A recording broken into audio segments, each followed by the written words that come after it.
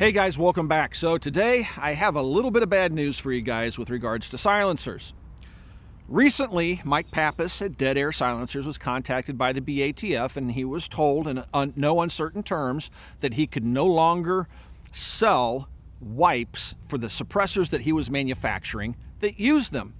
The Ghost 45 M, which is a very nice 45 ACP suppressor that is manufactured by Dead Air, has a lot of features. We'll talk about those features in this video.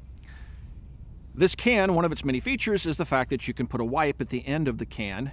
You can set a wipe in there and that helps to mitigate that first round pop. And first round pop is nothing more than the propellant gases uh, interacting with the air that's inside of the suppressor, the atmosphere that's inside the suppressor, the oxygen primarily, and combusting and making a louder first shot. The subsequent shots that follow, assuming you do it fairly quickly, that oxygen has been burned out of the inside of the can and the can becomes noticeably more quiet. The wipe helps to mitigate that first round pop. Some people put ablative material in su suppressors and ablative material is just a fancy word for saying they pour water in their silencer or they put, put wire pulling grease in their silencer and typically this is only done on handgun suppressors. You don't want to do it to rifle suppressors.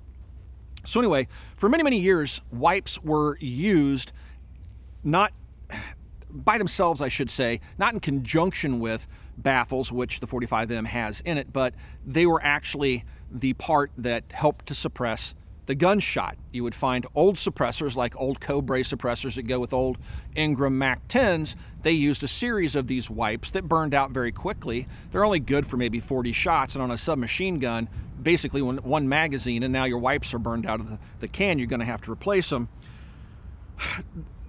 that's all changed. Nowadays, we have precision machines that make baffles that can have a bore that goes between them that's so perfect that the bullet can pass freely through them, come so close to them without touching that it seals the gas behind it.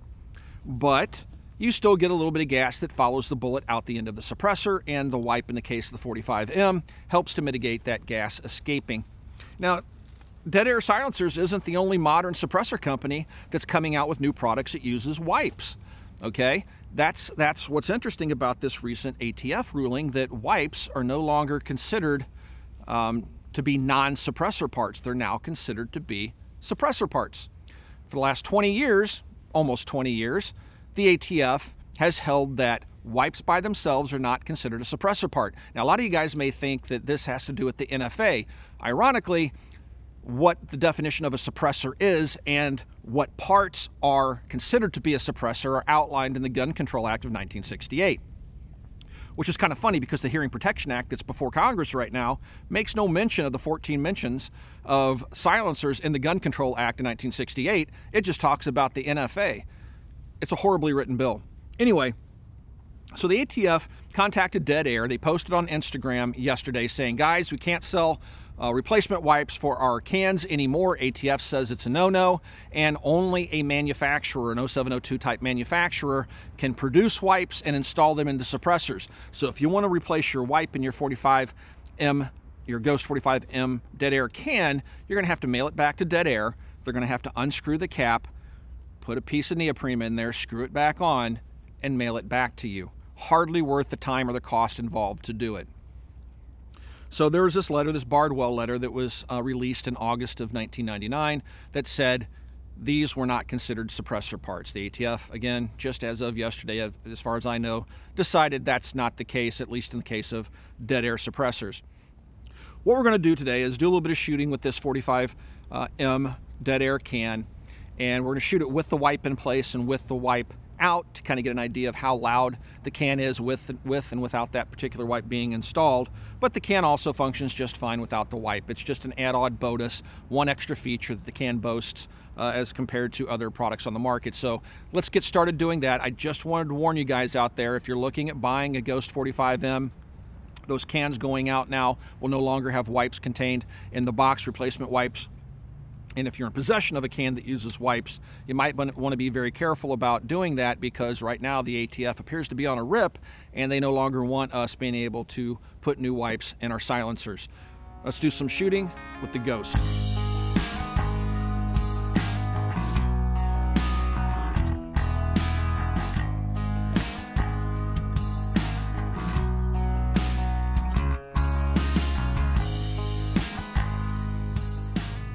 Absolutely just have to love technology, especially when it constantly screws you over. My Brüel & Kjær meter, I put it on the charger last night, charged it all night long, get out here today, and it says you have a low battery warning and it just shut itself off. So I won't be able to get actual dB readings off the can with and without the wipe. We'll do that later when I figure out why in the world my uh, batteries aren't charging. So we're just gonna shoot the can with and without the wipe and show you some of the features of the Ghost 45M. Ugh, can't win for losing, guys. This is why I don't gamble in Vegas. So the ammunition I'm going to use this afternoon to shoot the Ghost is Freedom Munitions 230 grain ball. This is the newly manufactured stuff. It's not the remanufactured stuff. And uh, 230 grain ball load should be subsonic. Most of them are, if not all of them. I have 10 rounds loaded into my FN. This is an FNX Tactical. Has a threaded barrel on it and I have the Ghost in its full length configuration attached to the gun. I'm gonna go ahead and fire 10 rounds.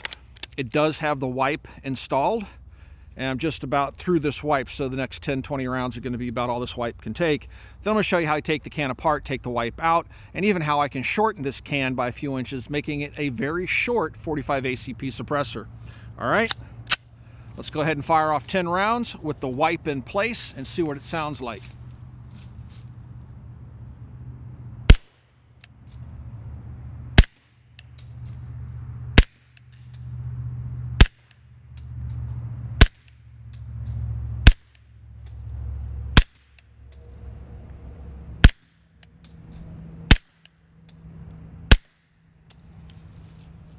A little bit of a first round pop, but not really all that loud. But the can itself is very, very quiet. You could probably hear the brass hitting the ground. You might have even been able to hear the trigger reset, although I'm quite a bit of ways away from the microphone. So that wipe doesn't look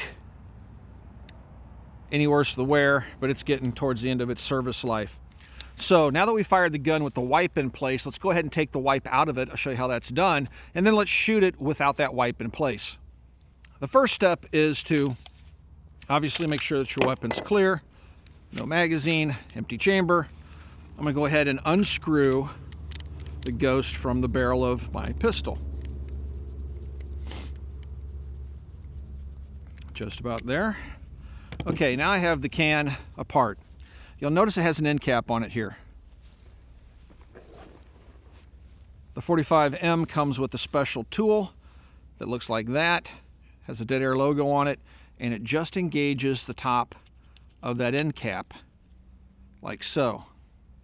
Now you have a knurled surface that you can unscrew that end cap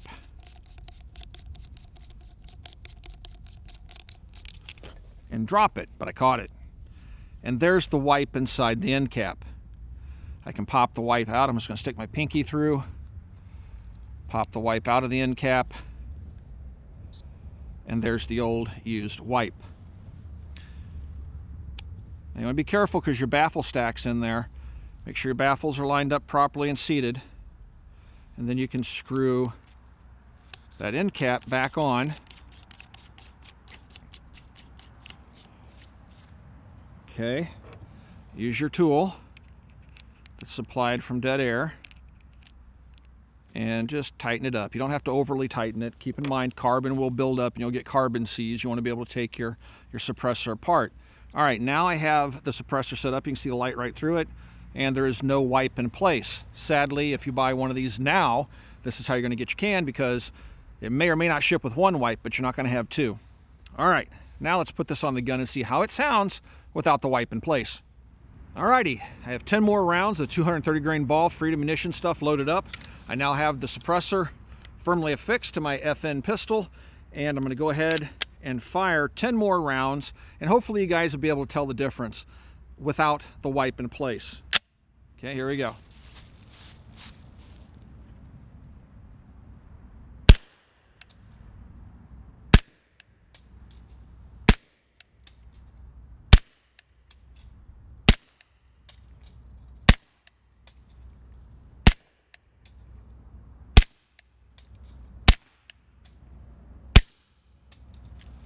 All right, I'm no decibel meter.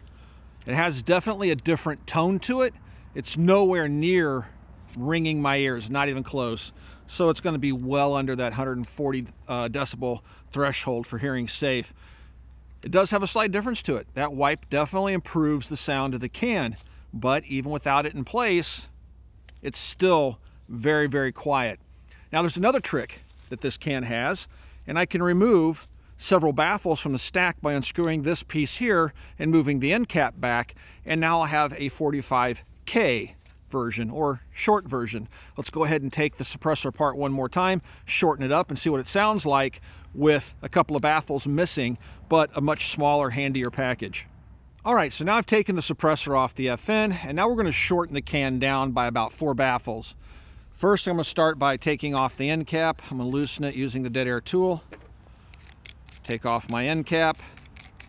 Now there will be one loose baffle inside there. The others seem to stay put, but this is what a baffle looks like. This, folks, is definitely a suppressor part. All right, make sure I get that put back in there right.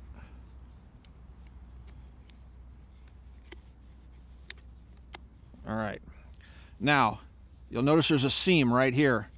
I'm just gonna turn it.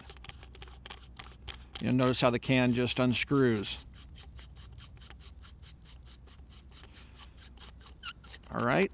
Now I'm to take those baffles, set them aside. You can see there's more baffles down inside the can.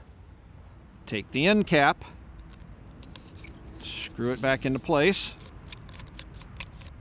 Tighten that down, snug it up, don't over tighten it. And now we have one very small little 45 ACP can. Let's see how this bad boy sounds on the FN.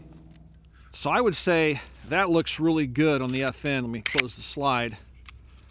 That looks pretty darn good on there. I will have to admit, with those four extra baffles in place, the can looks a little bit unwieldy. This looks like a very short, handy little 45 can. So let's see what it sounds like now. Again, with the same 230 grain ball from Freedom. Let's see what she sounds like in this short configuration. See if we can pick up a noticeable difference with our ears since we don't have the benefit of a decibel meter today.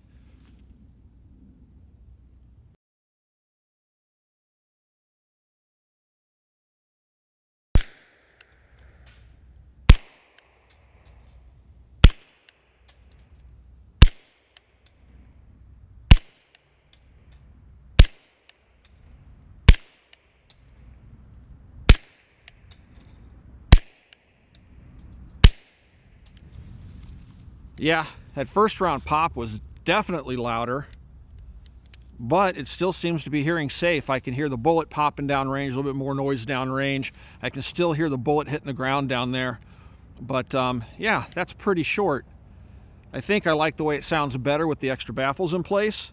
But if you're looking for a nice short package for your uh, 45 needs, that's going to be about as short as it can get. Matter of fact, let me show you another brand new product that we'll show in a later video, but I want to show it to you now and show you how it stacks up lengthwise to the Ghost in its short configuration.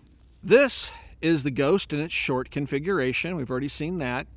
This is the brand new SilencerCo Omega 45. This is touted as being one of the smallest, lightest, 45 cans out there. What makes it different than other suppressors is it has kind of like a unibody. All the suppressor components are welded together, all the baffles are welded together, so there's no outer sleeve, which gives it a bit more volume.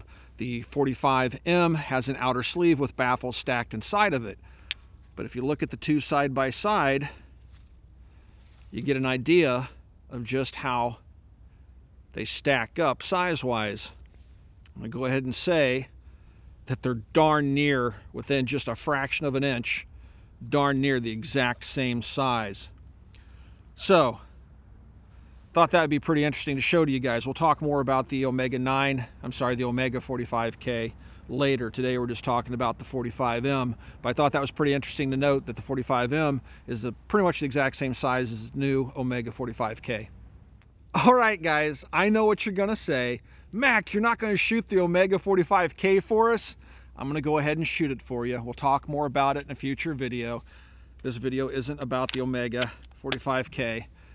10 rounds, 230 grain ball. Let's see what it sounds like as compared to the Ghost in its K configuration.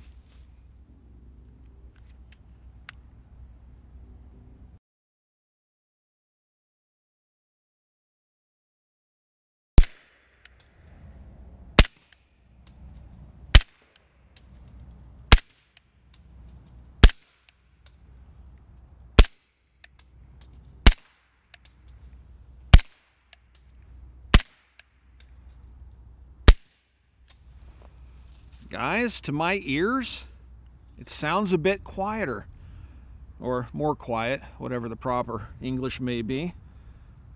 That was pretty darn impressive. I'm definitely going to have to put these two on the meter next to each other.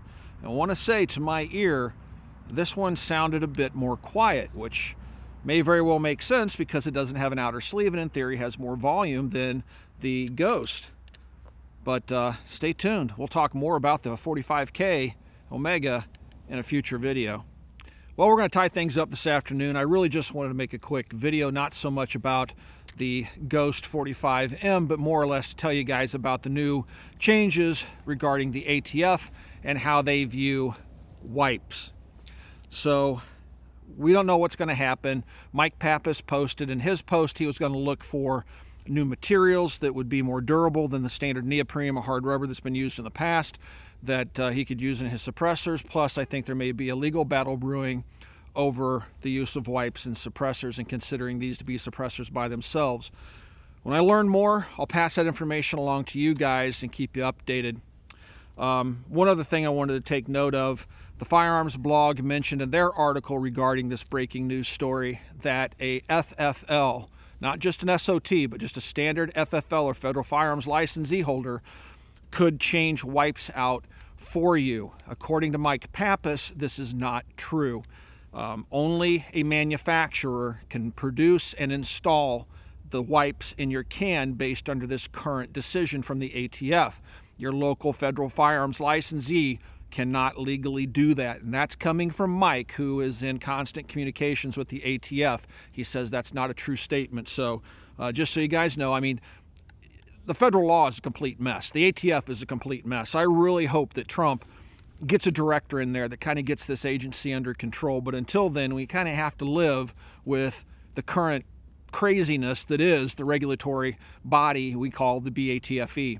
All right, guys, so anyway, I hope that you enjoyed this video. I hope that you found it informative. I'm sorry to be the, the bringer of bad news, but if you have any questions about anything you've seen in this video, you can ask those questions down below. I do try to stick around for the first couple of days after a video goes live to answer the questions you guys may have.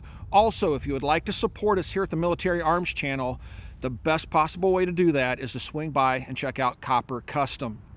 And if you haven't already, please check out full30.com. That's full30.com. We've taken all the web's best firearms content creators and brought them under one roof, and that is full30.com. Thanks for watching, everybody. Thanks for all those years of support, and I'll talk to you guys soon. Let's fire off 10 more rounds before we head home.